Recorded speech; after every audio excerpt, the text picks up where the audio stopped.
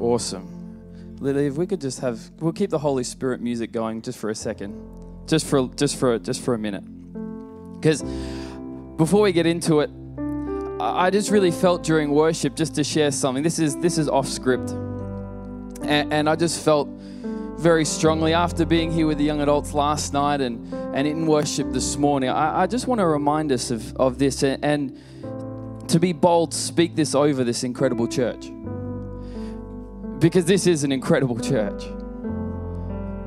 God, uh, God has done incredible things through this church. And I just believe to speak this this morning from Joshua 1, verse 6. It says, Be strong and courageous, for you are the one to lead, who will lead these people to possess all the land I swore to their ancestors I would give them. Be strong and very courageous.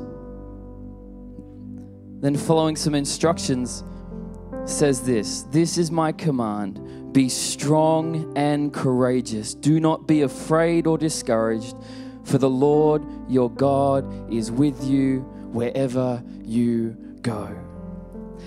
And coming out of the season that we've been in, it can be very easy to go into reserve mode, to go into to just hold the line mode. We can be strong and courageous holding the line. But I, I just feel this morning it's like that's that's done. That season's behind. And, and I feel the Lord saying it's time to advance. It's time to take ground for those prayers in this church, because I know there is many, it's stirring the faith up again to believe and to pray into the next generation. It, generations, church, it's generations. There's something on this house to touch the generations. It's time to advance again in our prayer, to get bold again, to get courageous again, to believe not just that we can withstand the pressure, but that we can advance. And I'm very much out of my comfort zone doing this. Uh, I know for many of us, we, we, we may not know each other that well, but from afar, I have great respect and admiration for this house, and I believe this is a word from God. And I'll stand on that boldly. It's time to be strong and courageous. It's time to believe. It's time to push forward. For all of us who were involved once and we've gone into reserve mode, let me just tell you and challenge you maybe it's time to put the working gloves back on again. Maybe it's time to get the knees a bit dirty as we kneel and pray again. Maybe it's time for if you are joining us online and you can be here, come and be in the house. That's fantastic. If you can't, well, we pray you'll be blessed wherever you are. But I, just believe God wants to do something. Come on. One person's excited. That's all we need. Because let me just brag for a second uh, on the young adults. And, and we were here last night, and the young adults ministry in this church is one of the healthiest young adults ministry in our state. And I'm not saying that to pump anyone's tires, I'm not. Because if you look at how many of the young adults are in connect groups, how many of the young adults are serving, how that's incredible. It's incredible. When you look at the youth ministry, young people actually coming together in a church. It's incredible what God is doing. I'll say it again. This is my command be strong and courageous. Do not be afraid or discouraged, for the Lord your God is with you wherever you go. Father, I thank you for this incredible church, these incredible pastors and leaders, Pastor Jeremy, Pastor Jacinta. Father, I just pray for them and the whole team and this whole family of believers that you would stir something up that fire would be rekindled. It's no longer reserve mode, but it's advance mode. It's no longer survive mode, it's conquer mode. Father, we speak it and believe it in faith. And everyone who agrees said, Amen, Amen, Amen. Awesome. Thank you, Lily. It really, made, that's just the Holy Spirit. Like, we felt it. Thank you very much. It's so good to be in the house this morning. So good. Uh, and my name's Nathan, and as Jacinta said, I'm from Faith Christian Church, been there for a number of years now. And I think the last time I was standing here was in 2017 after the youth camp. Uh, and come on, and uh, it's so good to be back. You know, you know, you, you may have done okay when they invite you back, so I'll take it. I'll take it as a win. But I'm excited to get into the word this morning. Anyone else? Awesome.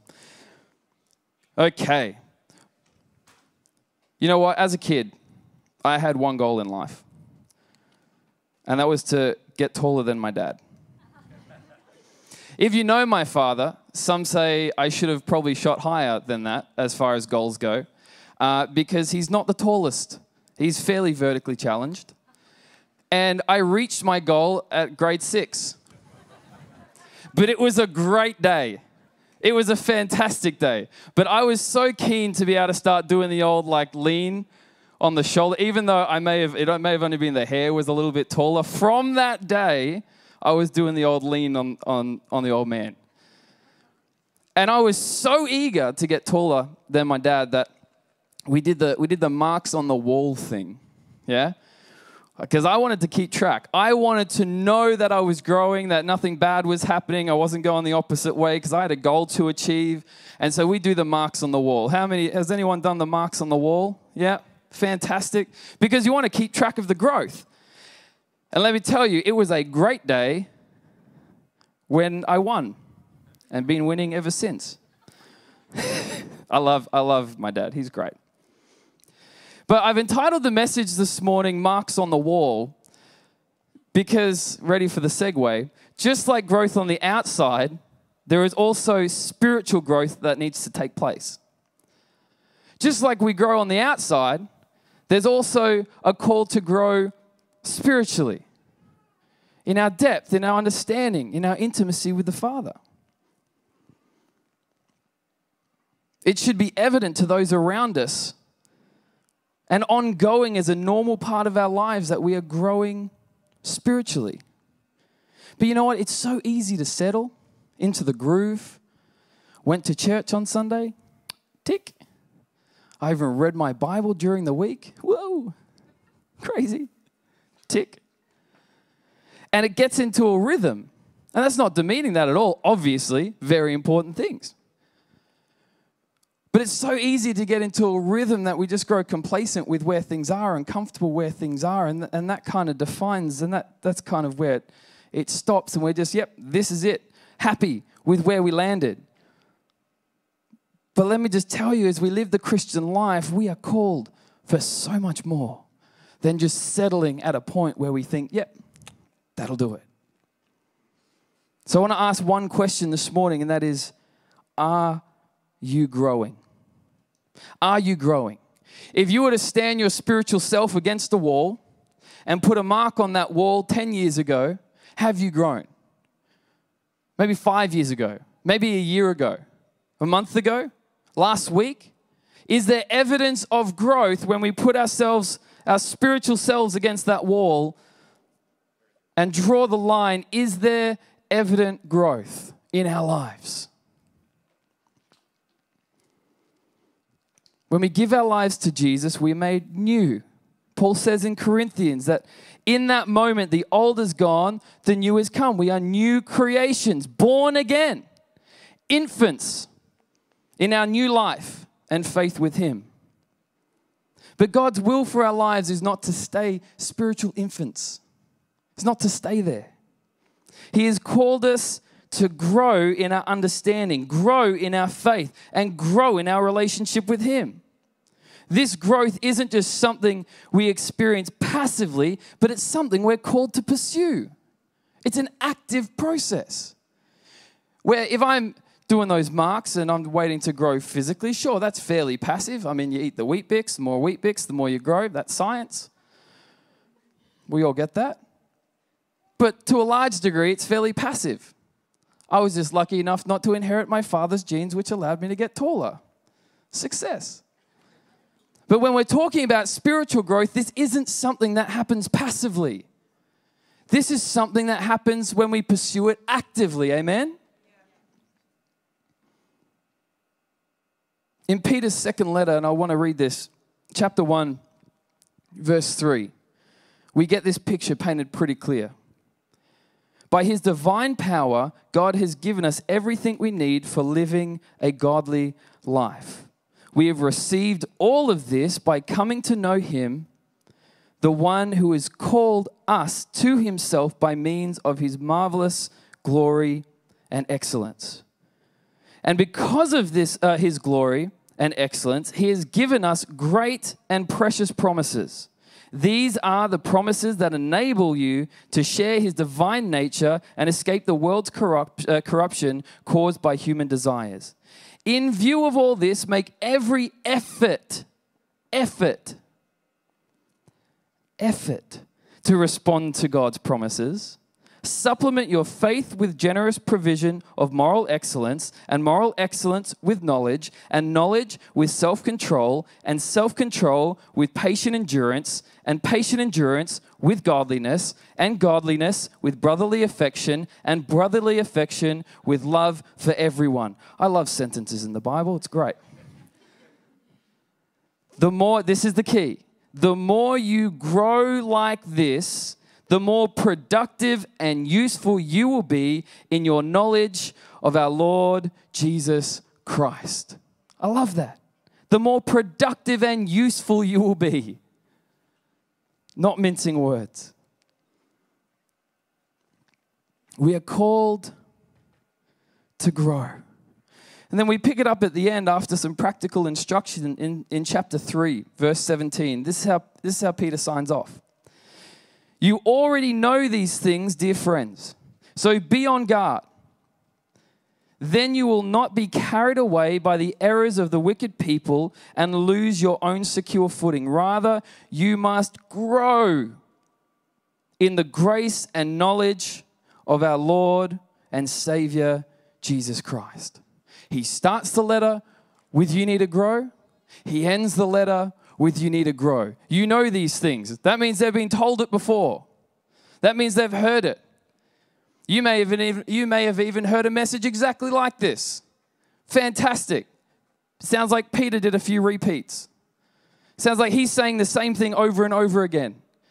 Sounds like he's saying, in these things, remember, we are called to grow. We are called for growth not to stay where we are, not to get complacent in God. It's not about getting this is this is for Hannah. It's not about getting the golden ticket just so we can get up to heaven, get out of this place. We were in youth ministry many years ago, myself and Hannah. And she used to pay me out because I used to say that a lot. And so I'll just get random messages that say nothing but golden ticket.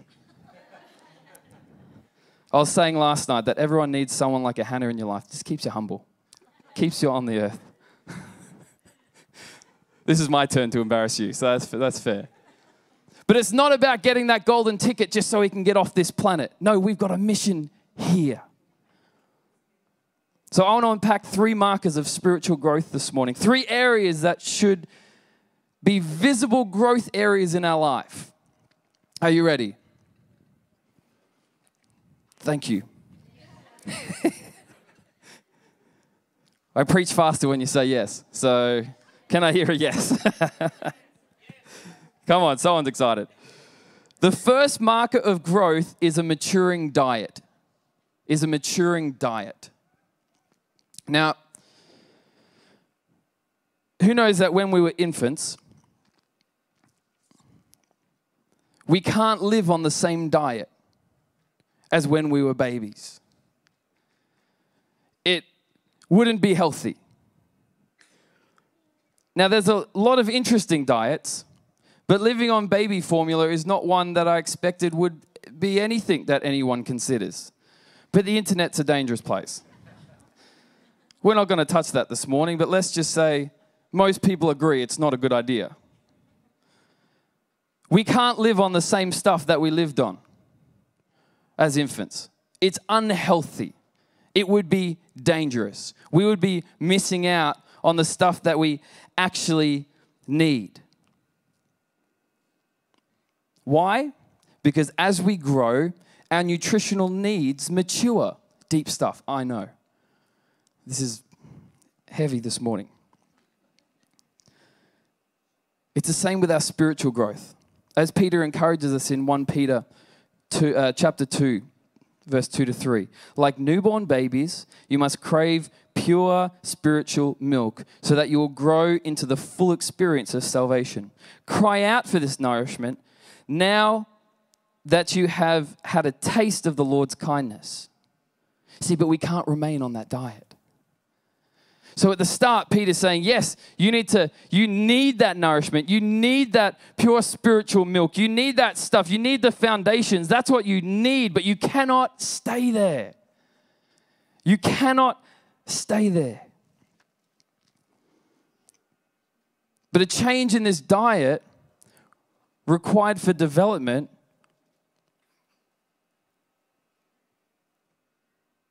is required to walk into where God is calling us.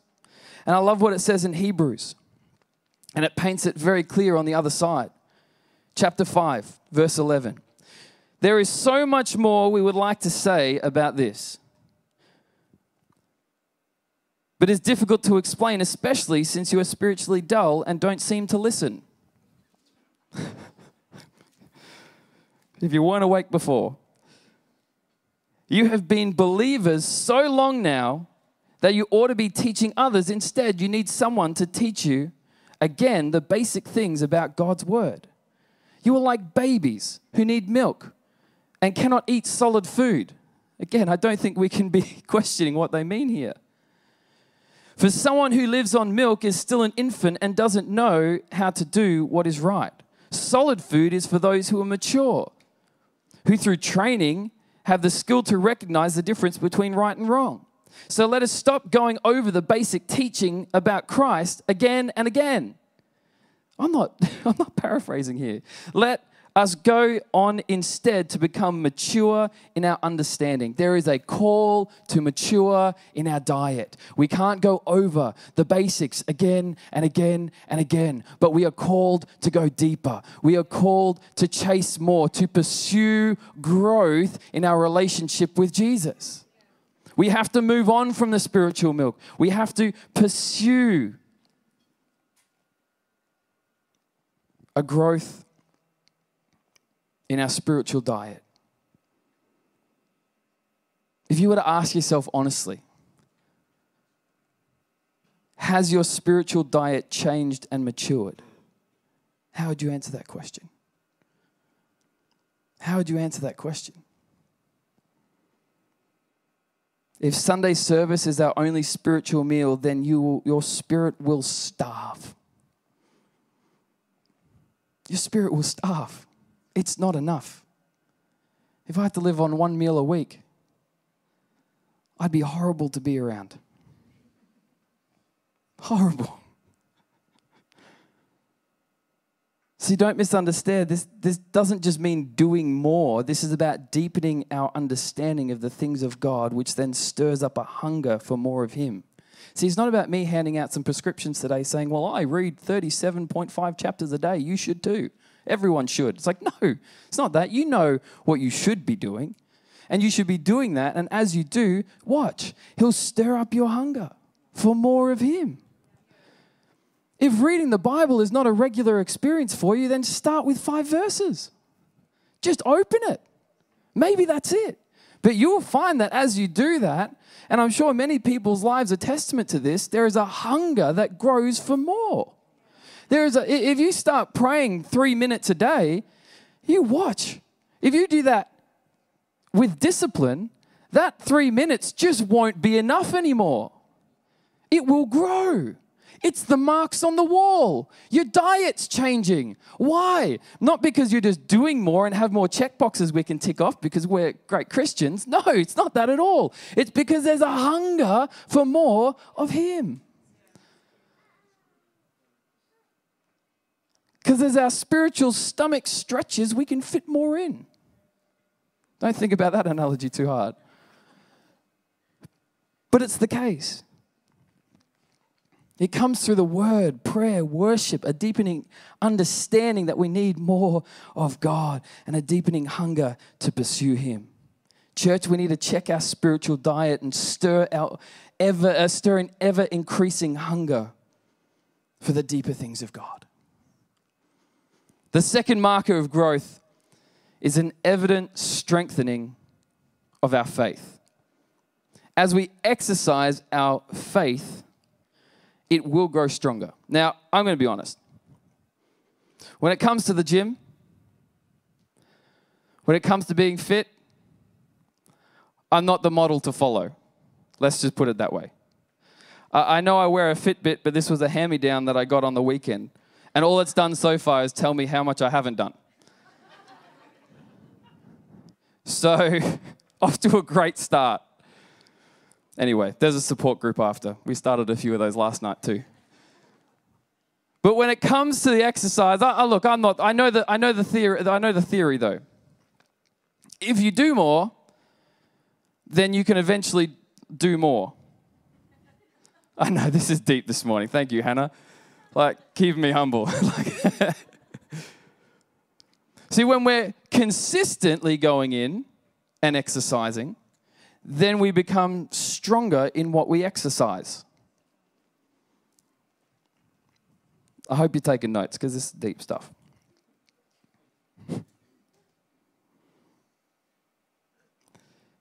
I know that if I go to the gym, I want to see results. I want to get stronger. I want to remove what lockdowns have done to me. There's a reason I'm in a loose shirt, don't worry. I want to improve my health so I can do more things so I, uh, that I couldn't do before. I want to live healthier and, and longer. And that's stuff I couldn't do without the exercise. And without the benefits, why bother? Because let me tell you, I don't enjoy it. Running is boring. It's boring. I'm sorry if there's runners in here. More power to you. But it's boring. Going to the gym, isn't fun for me. Again, if that's you, awesome. That's not my downtime. Come on. But why would you go to the gym and lift the same weights over and over and over again and that's it? If you don't go often, it, it points out how little you're growing because I might go at the start of every year and I'm lifting the same amount and it doesn't really grow. But if I'm going week in, week out, I want to see growth. So there's two lessons, I think, in this. One, consistency in exercising our faith is key for ongoing growth, and increasing what we are shooting for each time will strengthen our faith. So consistency is important, but if I'm going to the gym and lifting the same thing the same number of times every day, then that's just going to get easier and easier to the point it doesn't actually grow me anymore. So consistency is important, but we also have to stretch. We also have to push. We also have to what? Grow and challenge ourselves. It's the same with our faith. Consistency to believe in faith for God to do things is important, but the stretch is equally as important. Does that make sense? And this is challenging. See, as we check ourselves for growth, can we say that we are consistent in our exercise?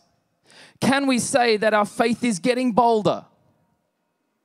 Because if you've noticed your faith isn't, you may be consistent, but your faith isn't getting bolder, then we're missing half of the equation. We're missing half of the formula. We not only need to be consistent in prayer and what we're believing for, we need to get bolder. Why? Well, John 14, 12 says this I tell you the truth, anyone who believes in me will do the same works I have done and even greater works because I am going to be with the Father. You can ask for anything in my name and I will do it so that the Son can bring glory to the Father. Yes, ask me for anything, anything, anything in my name, and I will do it. We can ask for anything. When was the last time we asked for anything? When was the last time we decided to be bold? When was the last time to not just pray for our one prayer list, but we add something to it that stretches us that little more? I'm not just some random dude preaching and yelling from a stage and this needs to go in one ear. No, this is for someone today. When was the last time you pushed yourself? I'm not questioning your relationship with the Father. I'm sure it's strong. But what I am challenging is your, in is your growth. Because we all need to be growing. It may not look like we expect all the time, but because His ways are higher than ours, but we need to continue to stretch, uh, stretch and strengthen our faith. When Paul prays for spiritual growth among the Ephesian church, he prays, God, would you empower them with inner strength through his spirit, that their roots would grow down into God's love and keep them strong. See, as our roots go down into God, they break new ground, they push new barriers. And in breaking new ground, we become more steadfast in Him. And through that, our faith grows. As we ask this morning, are we growing? We need to check ourselves. When was the last time we sought God for the impossible? We can't continue to grow by just saying grace. Grace is important. Bless this food. Even though it's pizza, bless it to our bodies. It's important. But we, can, we need to be growing. At first, this may look like praying for a family member to come to know Christ. It may start by praying for an interview that you feel you should go for, but don't quite feel qualified, or, or maybe a financial miracle, a, a breakthrough in, in health.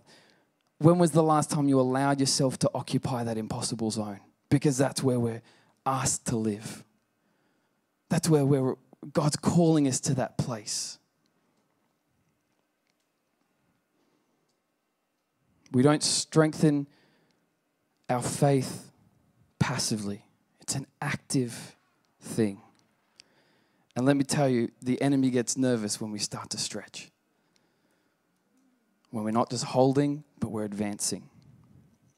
The final marker of growth is this it's a deepening intimacy with the Father. The, the previous two markers and really, our entire spiritual growth stemmed from this our intimacy, in our intimacy with the Father.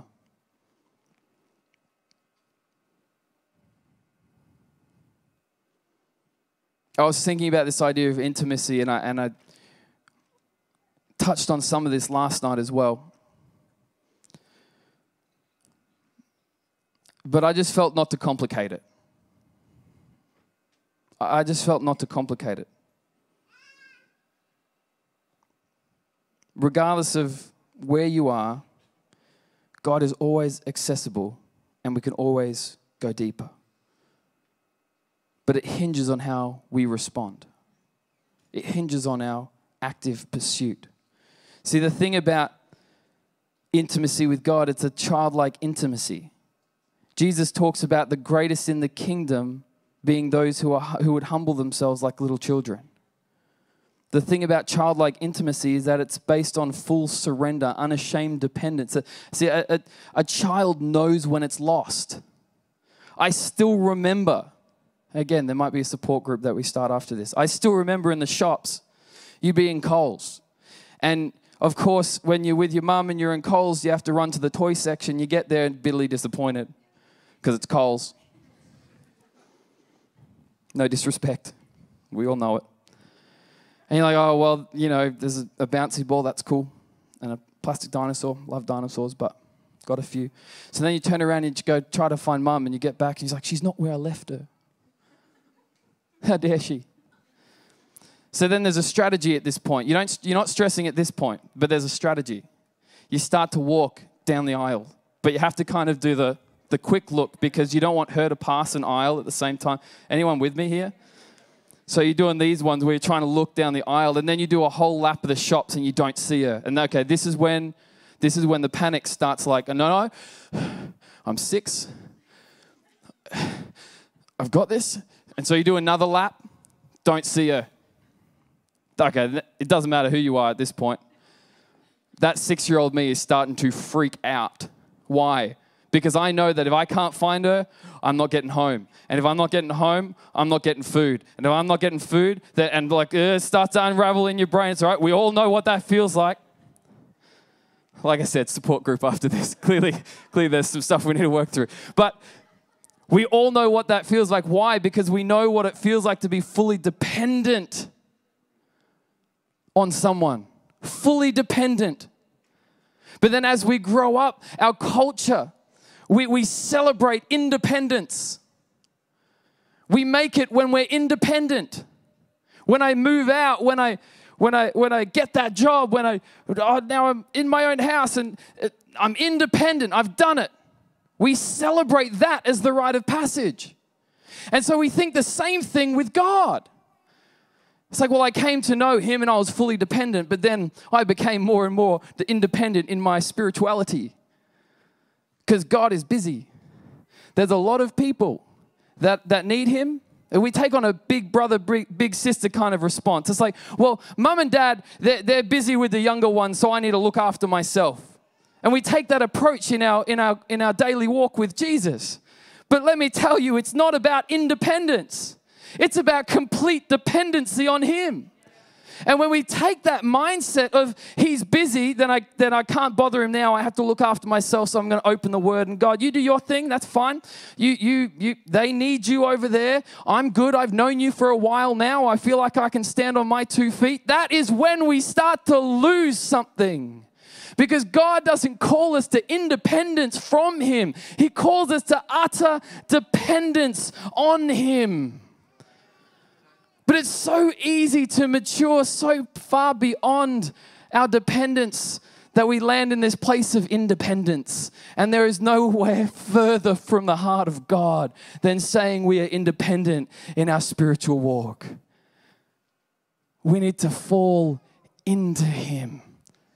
And I shared this last night, but it, it, it comes down to the fact that God is never ending, He is infinite. And just because we learn one thing about him doesn't mean that there's one less thing to know about him, which means the more we know, the more we don't know, and the more aware we are that we don't know it. As we learn about who he is, the mystery grows just as much, or stays the same, I should say. And so, even though we may have been Christians our entire lives, we never get to a place where there's, there's no more to learn, where there's no more to grow. It's like the, the beasts that fly around God's head in, in Ezekiel, and uh, I think, and Revelation for sure. These things with eyes all over its wings flying around the head of God, singing, Holy, Holy, Holy. If something with that many perspectives can fly around God's head for eternity, and see something new in Him to sing about, moment in, moment out. Let me tell you, our entire time on this planet isn't enough to know everything there is about God. There is always something. There is always something to see in him. You might have heard every sermon under the sun, but if you open his word, he can speak to us afresh. Oh, I'm getting excited this morning. Now it's the awkward part where I don't know where I'm at.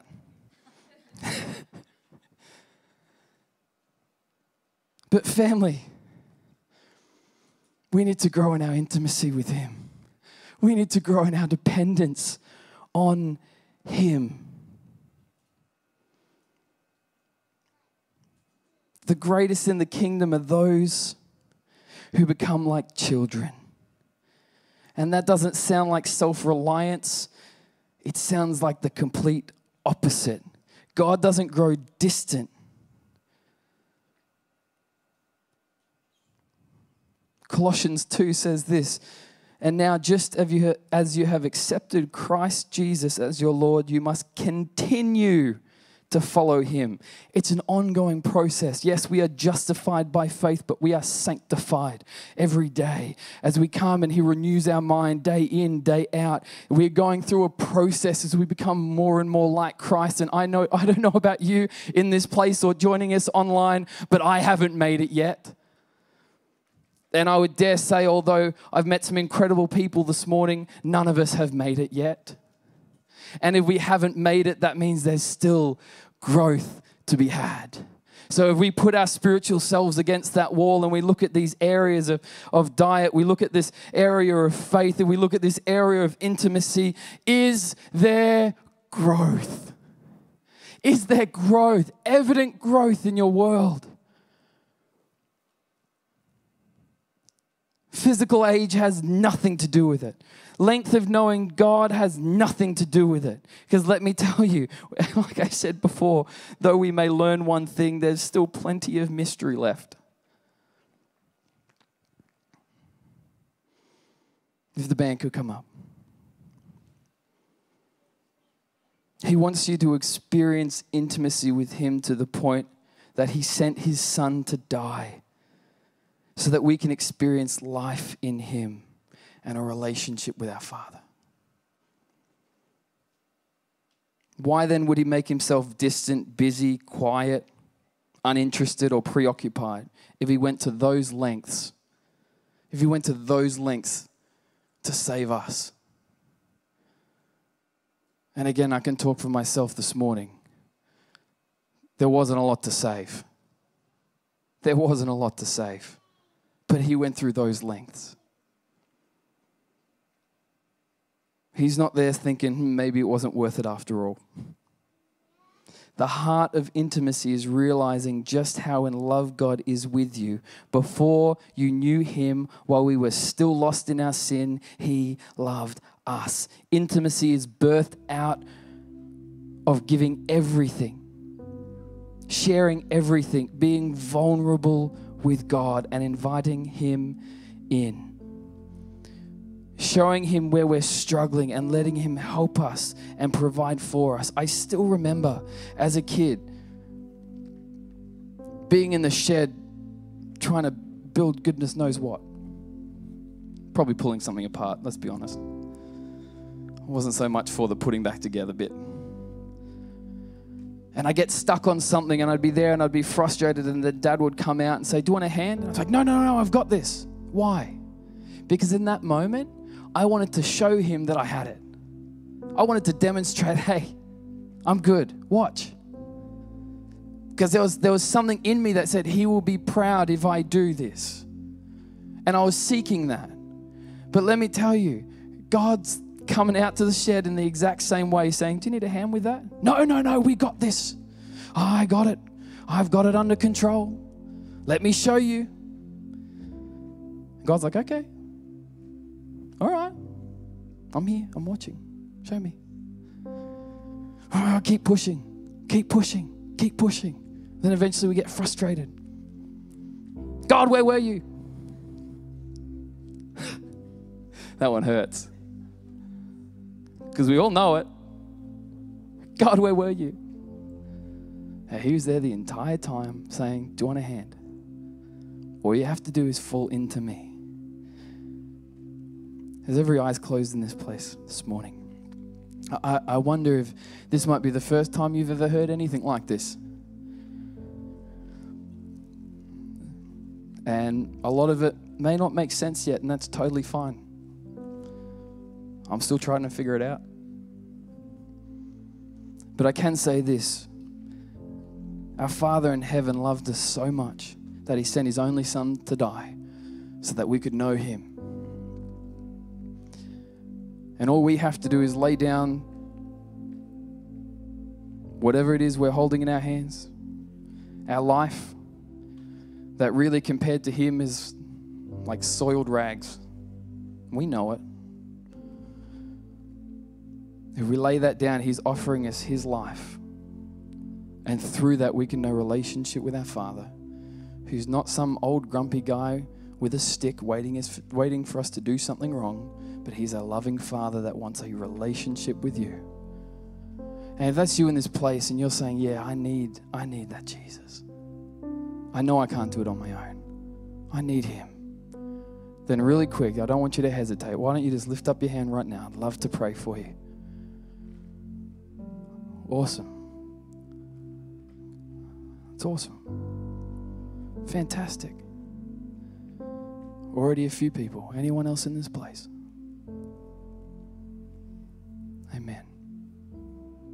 Amen. What we're going to do is we're going to pray a prayer, and I just want you to repeat after me. This isn't magic words. This is just me helping the first conversation you're having with God get kickstarted. So I'm going to say these words, and the, I want everyone in this room to repeat them with me. But if you put up your hand, I, I want you to know that this is you talking to God here. All right. You ready? Let's pray. Dear Lord Jesus, today, I know I need you. I know I can't do it on my own. I've tried and it won't work. But this morning, I'm inviting you into my life to take control. I believe that you died on the cross and that you rose again. And from this moment on, I'm following you all the days of my life. In Jesus' name, amen. Amen. Amen. Can we give our family a hand who responded this morning? Awesome. Happy, happy to chat. Come and grab me after, and pastors and leaders, we're ready to chat. But I just wonder if it, this morning if we could take a few minutes because I, I do just want to hang on that last point because I feel like we just need to fall back into that place of intimacy with Him. So I wonder if we could all stand if we're able in this place. If you're joining us online, why don't you just, whatever you're doing, just pause for a moment. Let's just take a moment to reflect.